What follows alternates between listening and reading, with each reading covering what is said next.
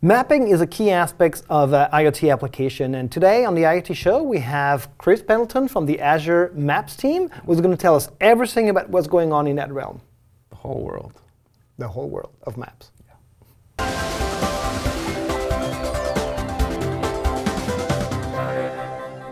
Hi everyone, this is the Internet Things Show. I'm Olivier, your host, and today we have Chris Pendleton from the Azure Maps team. Yeah. Thanks for joining us. Absolutely, thanks for having me. So you've been on some shows on Channel 9, Azure Fridays, other things, but still, how about you introduce yourself to our audience? Yeah, you may recognize me from previous shows. Uh, yeah, I'm Chris Pendleton. I run the program management team for Azure Maps. And we actually will talk exactly about that. What is Azure Maps? Yeah. So where question. is it coming from? Why did we start that? It GA'd last May, right? Correct. Uh, which is like six months ago. Something like that. My yeah. math is approximative, but that's fine. Yeah. So why did we actually create that, uh, that service for mapping? Yeah, so we wanted to have location in the Azure cloud, natively in the Azure cloud. And that's an important facet of our enterprise customer offering. And so mm-hmm. when we talk about location, it's inherent in just about everything we do.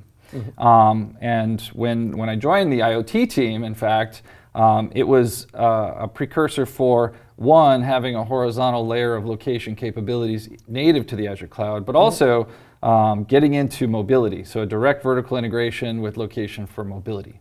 And so the reason that we started this was we saw a lot of enterprise customers onboarding to the Azure cloud, mm-hmm. and they needed these location capabilities natively built in.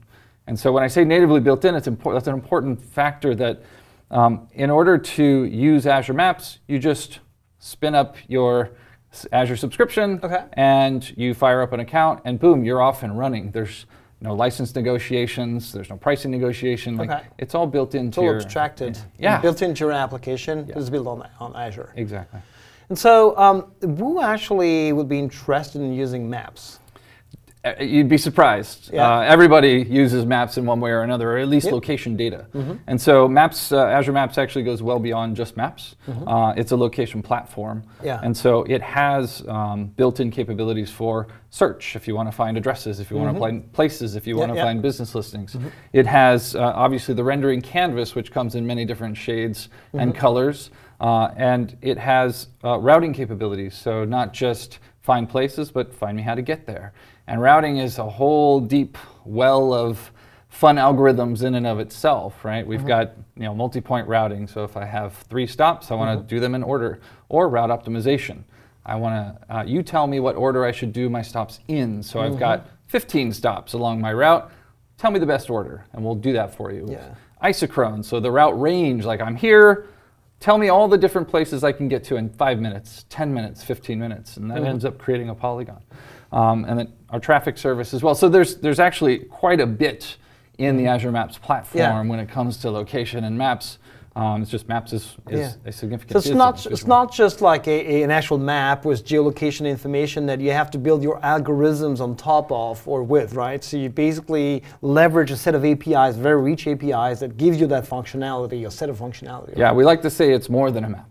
Yeah. Yeah. So it is a map, but it's more that it's much more than a map and. Uh, in fact, the, the capabilities that we've we, we now have mm-hmm. really start to enrich uh, the API set and the capabilities that people can do with those maps and that location information set. Okay. So um, I should mention that um, the impetus for Azure Maps, uh, you know, did start with partnerships. So we didn't like start reinventing maps from open sources. We didn't start you know, trying to build our own maps again. Mm-hmm. This is a very partner-led strategy. Okay. And so what we did was we have uh, an agreement. We have a partnership with a company called TomTom. Yep. Little company out of uh, the Netherlands, and um, they agreed to move their services into the Azure cloud. So now natively within the Azure cloud.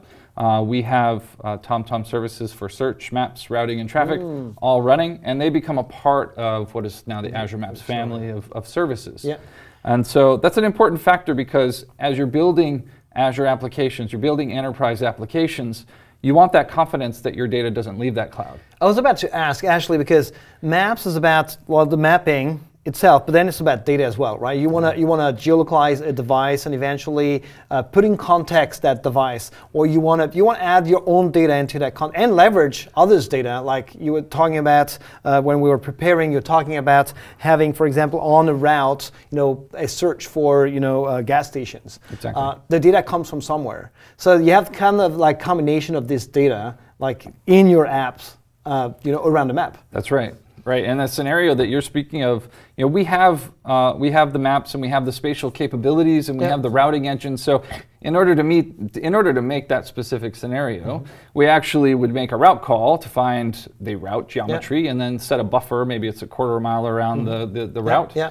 Uh, and then pass that to another API for mm-hmm. like gas stations. And so we have a search API that allows you to basically filter along that route. Yeah. Um, and as you move along that route, you can optimize for that search as well. So directionality matters, and then you can mm-hmm. do uh, you know the isochrone or route range where you're saying I've only got five yeah. minutes left of charge. Mm-hmm. How far can I get? What's the nearest gas station? You end up mm-hmm. filtering down into a very specific set of results. Yeah. Um, but but yeah, it's it, it, if you have your own data sets, that's where it gets really interesting, mm-hmm. and where the Azure cloud is. Uh, you know, this is where we're making our, our, our hallmark, right? Mm-hmm. It is your data. You put it on yeah. our map it's still your data, right? You control your data. Our development team doesn't even have access to it, right? This is all partitioned into your subscriptions. Mm-hmm. You want to use it in conjunction with Azure Maps. We have a set of APIs for you to do that. We have a, a web SDK that you yeah. can uh, visualize that data and do all kinds of like really cool graphics mm-hmm. and layers and yeah. animations, and that's really cool. We have an Android SDK now that allows you to do that on mobile devices. Mm-hmm. And all of that is still controlled by you as a customer. Like that is your data. We respect that. We have all of the compliance factors mm-hmm. that Azure stands by in terms of security, GDPR for privacy, uh, and even geopolitics, right? Like we're a mapping company. As you start to yeah. distribute your data into other countries, mm-hmm. it's important to understand the rules and regulations. Uh, if you go into a country like India, for example, like India has very specific rules on what they want their country to look like. And so you need to respect that government's view of how their country borders yeah, look yeah. like. So are you saying that we're doing the, not the filtering, but we're actually exposing a set of tools that allows our customers to not display data that shouldn't be that exactly country? right okay. so we we will provide those, those variant views mm-hmm. for the different parts of the world where it's important for our customers to be able to distribute so okay. as you are distributing in these various regions you can reside with confidence that you know Azure Maps mm-hmm. will take care of that for you. Yeah. So you, you alluded to uh, something that I was about to ask, which is um, SDKs. Yeah. And my question was, the next question was to ask is, um, you know, who, who is actually the person, the persona we're targeting with Azure Map? Who's going to use it? So there's the, the final user, the one operating the application, right? So it's going to be the final customer, is going to be the one watching the map and using the, the, the interactivity that you build as, a, as, you know, as the app builder. But the end of the day, Azure Map service itself is for developers, right? It is absolutely for developers. So we have we have a set of SDKs, like different languages. Uh, we so right now it's all TypeScript and JavaScript. Okay. So okay. the Web SDK, uh, we actually just unleashed 2.0, um, okay. and the 2.0 release is, is significant. I'll get back to that. Yeah. Uh, and an Android SDK. And so we have yeah. web and Android today mm-hmm. as our SDKs that are rolled up, and then the services are available through REST interfaces. Okay, like classic. Yeah. yeah. So yeah, you just say like you're going to talk about yeah. details yeah. about the V2, right? Yeah, so V2 is super important because it actually allowed us to do some different things. And so mm-hmm. we don't like the version SDKs because you end up leaving people behind. But in this one, we, we had a very good reason.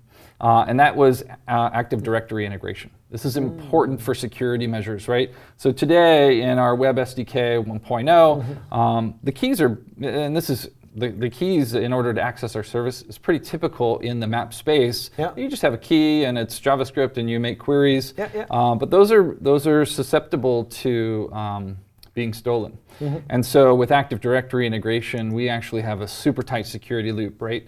So you create your own tokens in an anonymized fashion, for example, mm-hmm. um, and that token can expire however long you'd like it to. Okay. So once a token's created, it can be 30 minutes, it could be you know, 10 minutes, whatever mm-hmm. it is, and it'll only run yeah. for that long, and then yeah. it expires. So if someone takes it out of a web page, it doesn't work anymore. So mm-hmm. you're in control of that. We also have uh, the Active Directory for user login.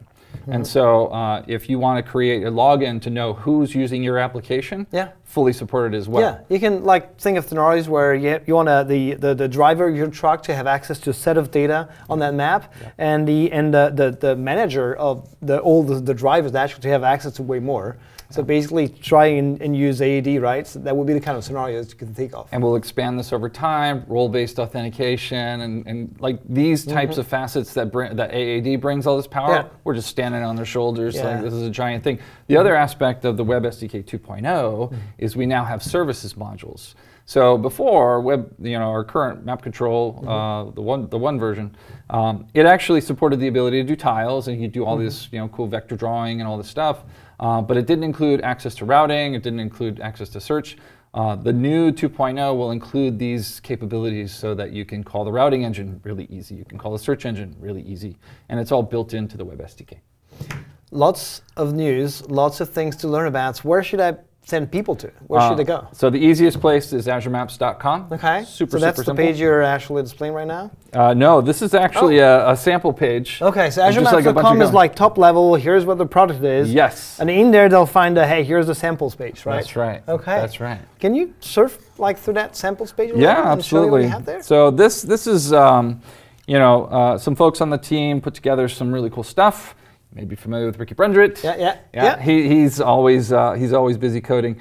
And so um, this one in particular does that scenario where I'm routing along a route and I just want to see the points that are in within, within a polygon of okay. a route, right? Okay. And so for this one, I'm just going to do a super simple route from Seattle to Redmond. Mm-hmm. And what it does is it says, okay, these within a one mile buffer mm-hmm. are inside of that polygon. Okay. And this particular demo, it's fully adjustable, so I can just slim this down to half a mile and you can see the results change on the fly. Yeah, and I was impressed when going through that samples page about the amount of tiles you have, so meaning the amount of features. Uh-huh. And there's things like super cool, like the look and feel of the map is one of them. I love the heat map. Yeah. It's pretty impressive. There's also that integration with buildings mappings, right? Yes. So where you can actually zoom in into a map and then suddenly you're in the building. Yeah. And I can imagine scenarios for IoT in particular where you have a mix and match of digital twin and things like that will allow you to visualize data in context in your building map, right?